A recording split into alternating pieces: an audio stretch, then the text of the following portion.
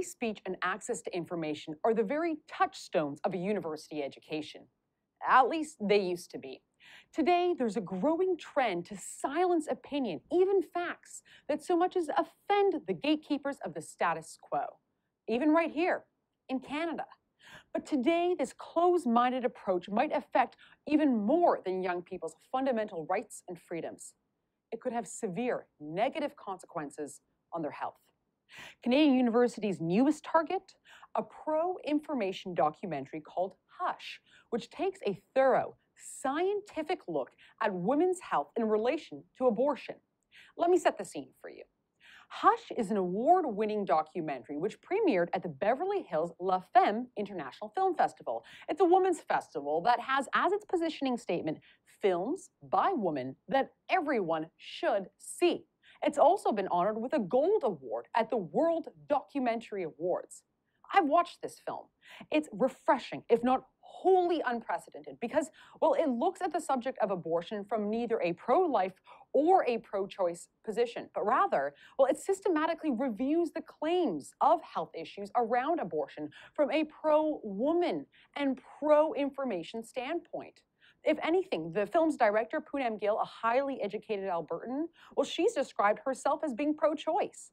So today, Hush documentary coordinators are on tour across Canadian university campuses with their film before it's release in theaters this fall. They want to show it to young people, young women on these campuses, so that they can have all the information that they need, the information that they should get, but for some reason don't, in the event they decide to get an abortion, something that they are free to do in this country. So they went to the University of Manitoba to talk about women's health in the context of abortion on a university campus. Okay, they only had two rules. One, no politics. Two, no religion. And guess what? 100% of the people who showed up when surveyed said that they loved the film, no matter which side of the debate they were coming from. Amazing what happens when you present information to young people and let them think for themselves. The problem is, not everyone is so keen on doing so. The next college campus on their tour was the University of Winnipeg. So, after Hush coordinators had their campus contacts book a room, post scores of flyers around campus grounds, and when their high profile guest speaker was already en route via plane from New York. This email from the University of Winnipeg's club Global College landed in the Hush inbox. They canceled the movie screening, citing, quote, internal confusion and misunderstanding. Well, just sounds like a logistical problem, right? Which could be excusable if not totally inconvenient. Except one day before the original movie screening, which by the way was scheduled to take place fittingly on International Women's Day, just one day before, Hush coordinators received another email that cited the university's true motive for canceling the movie.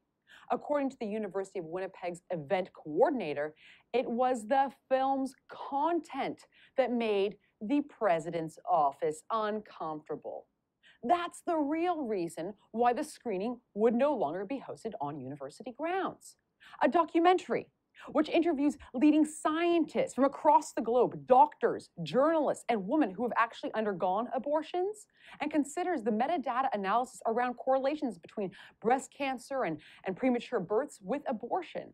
That makes a university president uncomfortable. So, there, end of story, end of debate. Well, not if we here at the Rebel.media have anything to say about it. We believe in free speech. We believe in access to information, and we will defend women's health. And I hope you will too. Join us by visiting accesstoinformation.ca and sign our petition to the University of Winnipeg. Let the president know that women's health is more important than ideology and that young women considering abortion should receive apolitical, scientific facts about the procedures they might choose to undergo. Demand the university reverses their decision.